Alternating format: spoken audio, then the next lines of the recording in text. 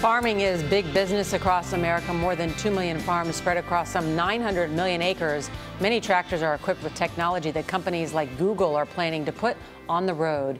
Adriana Diaz is in Bondurant, Iowa, with the tools of the future that farmers are using today. Adriana, good morning.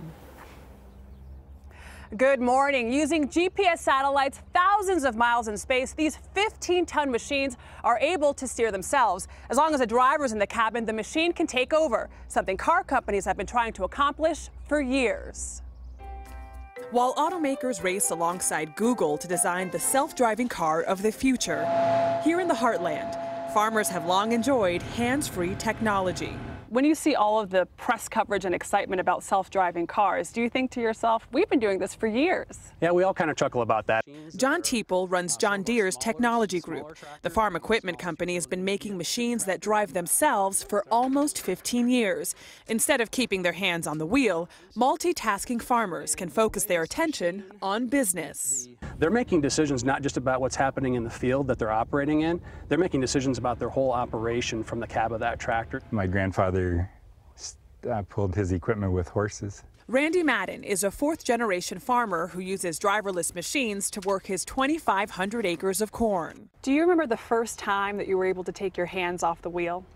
I do, yes. I've uh, 10, 12 years ago, it's a watershed moment in, in our uh, farming life. Here's how it works. A driver programs the route, and the GPS-based technology does the driving down to the inch, avoiding missed spots and repetition. It's designed to save time, fuel, and money, though assisted driving can cost up to $20,000 per machine.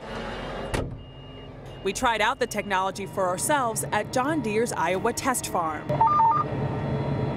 So now it just took over control? Yep. It's turning by itself? Yep.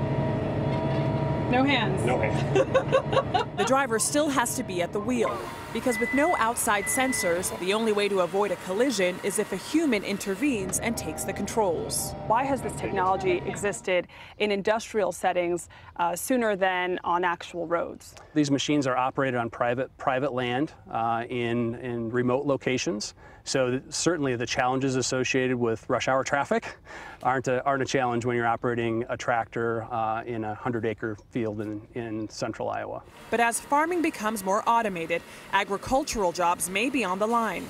And moving farm equipment online may make operations vulnerable to glitches and hacks, though John Deere says it has encrypted security measures in place. Homeowners may be next to get a helping hand.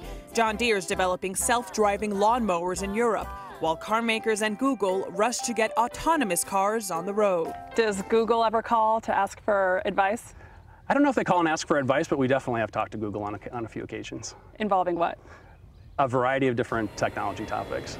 Proprietary information. right, exactly. John Deere says fully driverless tractors are at least a decade away. At that point, farmers will be able to focus fully on running their business instead of running tractors like this one. Gayle? Fascinating stuff. Thank you, Farmer Diaz.